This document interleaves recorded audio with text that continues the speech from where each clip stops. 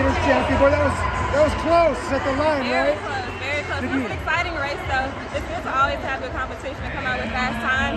So um, I'm proud of all of us for the times we ran, and I'm happy that we have two good individuals going to represent the U.S.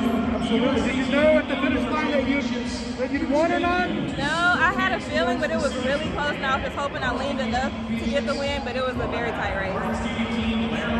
You tell, like, I mean, from the start, were you behind, were you in front? Like, what was your sense of it as it was going? I really don't know. All I remember is like those last couple of steps, just hoping that I could push through and lean for the win, and I came out with the win. So that's all I can really remember right now.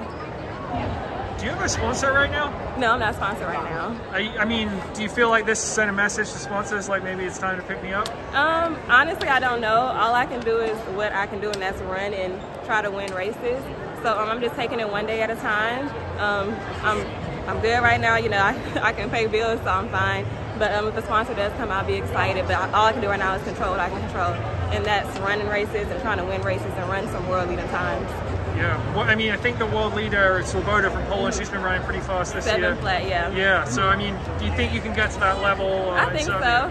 Um, it's going to take me being patient and having a good race, a better executed race than I did today, and I think that I can um, run the time that fast. Congrats on the win. Thank, Thank you. you.